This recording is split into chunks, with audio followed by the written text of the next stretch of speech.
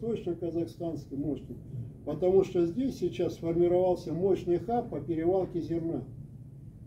До последнего времени сюда заходилось российское зерно, на него оформлялись документы, что оно казахстанское, оно спокойно уходило. Сейчас, когда российское зерно не заходит, но трейдера, они остались здесь, они здесь, у них создана инфраструктура, вложены деньги, построены базы, продолжается экспорт зерна. Если нет российского, экспортируется казахстанское. Можно вам вопрос задать?